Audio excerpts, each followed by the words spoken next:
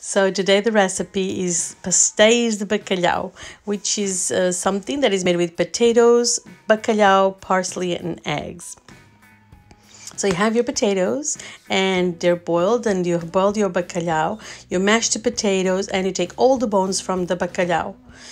Everything will be bent together, but before the bacalhau must be put, be put in the cloth and beaten like crazy. You see here, it's really a lot of fun and you need a little strength and you need to beat it up. It's important that the cloth is big and everything needs to be really, really just in threads of the fish. You mix together everything in a bowl and you add the parsley.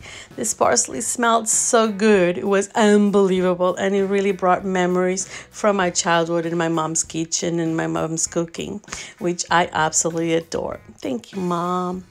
And of course, you just mix with the eggs in the end and you add one by one for three kilos of potatoes and five pieces of cod. I've used 15 eggs and they were actually grass-fed chicken eggs and i loved it.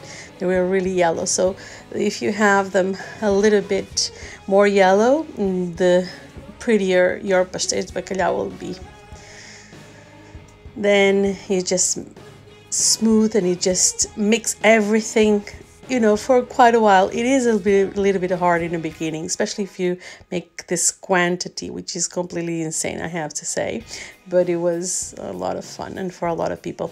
So here you go you just keep mixing and then you shape the bolinhos de bacalhau with two spoons. And i call it bolinhos de bacalhau because we say pastéis de bacalhau or bolinhos de bacalhau and you shape it with two spoons and put it in to fry.